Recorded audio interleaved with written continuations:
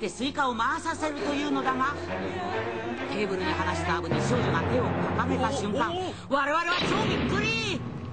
少女がアブの頭上で指をゆっくりと回すとなんとアブが仰向けにひっくり返ってしまったではないか。これはまさに魔法のようだ。そして少女がミニスイカを乗っけるとくるくるくるくるスイカを見事に回し始めた。器用に手足を使いらに少女は他のアブを取り出しテーブルに置いたそして得意の魔法を使って次々とアブを仰向けにすると今度はアブが4匹同時にいろんな丸いものを回し始めたぞ。